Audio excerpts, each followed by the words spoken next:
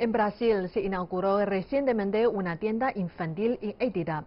Las muñecas de Drapo Negras son las protagonistas de Érase una vez el mundo, un negocio basado en juguetes que se identifican con la cultura africana.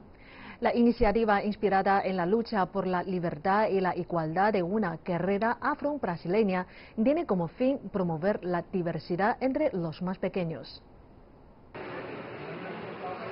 Esta es Dandara, una muñeca bautizada en homenaje a la mujer que liberó a miles de esclavos durante el periodo colonial de Brasil. Al igual que la guerrera, ella también es negra. Durante la infancia, Yasiana nunca tuvo una pepona con su color de piel y ya de mayor decidió fundar una tienda con juguetes educativos que representan la cultura afro-brasileña. Cuando un menor crece sin referencias de la diversidad que existe en la sociedad, acaba teniendo una mirada orientada para una sola realidad. Piensa que solo existen personas blancas y no humaniza el propio cuerpo de la persona negra. Por eso es importante que existan no solo muñecas, sino libros o programas de televisión con niños negros como protagonistas. Es importante que existan no solo bonecos, mas libros con crianças negras como protagonistas, programas de televisión. Este pequeño pequeño taller funciona a pleno rendimiento creando peleles. Todo el proceso pasa por las manos de la empresa familiar, desde el patronaje hasta el relleno con algodón y el cosido. Los muñecos disponen de un armario bien colorido para decidir su look según la ocasión e incluso para ir todo conjuntado con su propietario.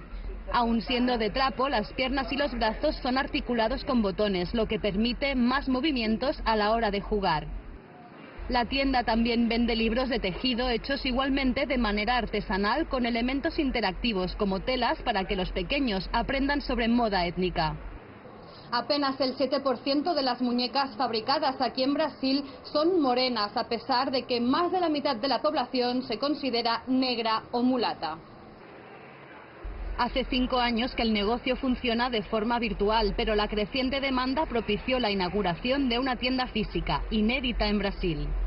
Necesitamos prestar atención al mensaje que queremos pasar a nuestros hijos. Los muñecos son el primer contacto que tienen con el mundo externo y si estos no son diversos, el niño puede crecer desarrollando involuntariamente un pensamiento racista. La iniciativa ha sido galardonada con dos premios al emprendimiento sostenible y a la creatividad. Paula Muriel, CGTN en español, Río de Janeiro.